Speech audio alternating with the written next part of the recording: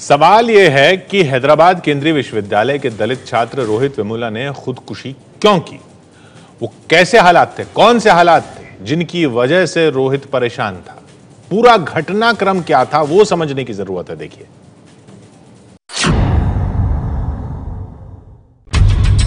PhD छात्र रोहित वेमुला हैदराबाद विश्वविद्यालय के अंबेडकर छात्र संगठन से जुड़ा हुआ था। अगस्त के महीने में संगठन ने उन्नीस सौ तिरानवे ब्लास्ट के आरोपी याकूब मेमन को फांसी दिए जाने का विरोध किया, जिस पर बीजेपी से जुड़े छात्र संगठन एबीवीपी ने आपत्ति जताई। इसी दौरान एबीवीपी ने विश्वविद्यालय में मुजफ्फरनगर दंगों से जुड़ी फ़िल्म दिखाए जाने का विरोध किया, जिस पर अंबेडकर छात्र संघ ने एबीवीपी के खिलाफ कैंपस में प्रदर्शन किया।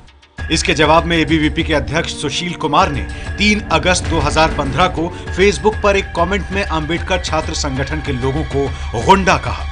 इससे गुस्साए अंबेडकर छात्र संगठन के लोगों ने सुशील कुमार पर माफ़ी मांगने का दबाव डाला।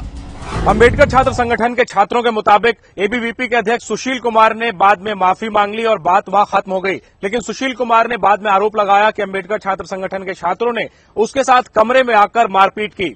रोहित वेमुला उन पाँच छात्रों में शामिल थे जिन पर मारपीट का आरोप लगा और जिन्हें बाद में सस्पेंड किया गया। एबीवीपी ने इस कथित मारपीट के खिलाफ पुलिस में शिकायत भी की।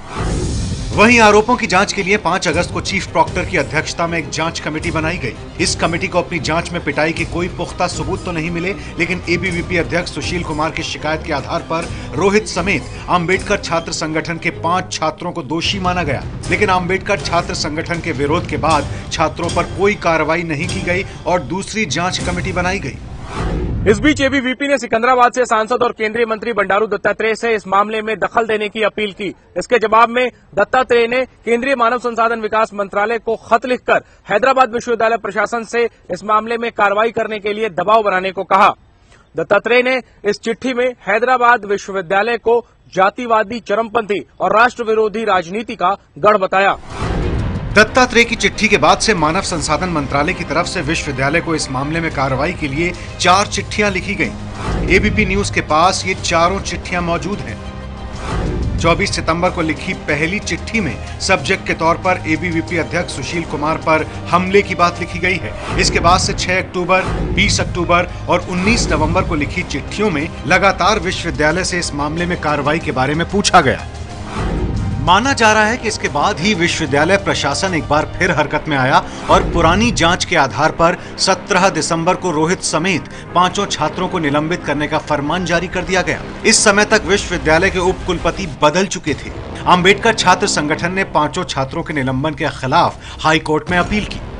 सात जनवरी को विश्वविद्यालय ने साफ़ किया कि छात्रों के निलंबन का मतलब यह है कि वो छात्रावास में नहीं रह सकते और किसी राजनीतिक गतिविधि में भाग नहीं ले सकते, लेकिन उनकी पढ़ाई पर किसी तरह की रोक नहीं लगी थी। अंबेडकर छात्र संगठन के मुताबिक रोहित और उसके चार साथियों पर एबीवीपी अध्यक्ष सुशील कुमार की पिटाई का आरोप गलत है। इसलिए निलंबन की कार्रवाई के विरोध में पाँचों छात्र धरने पर बैठे थे। जिस दिन रोहित ने आत्महत्या की, उस दिन भी अंबेडकर छात्र संगठन के छात्र आगे की रणनीति पर चर्चा कर रहे थे। लेकिन रोहित अचानक बीच में उठकर चला गया, जिसके बाद उसका शव एक पंखे से लटका हुआ पाया गया।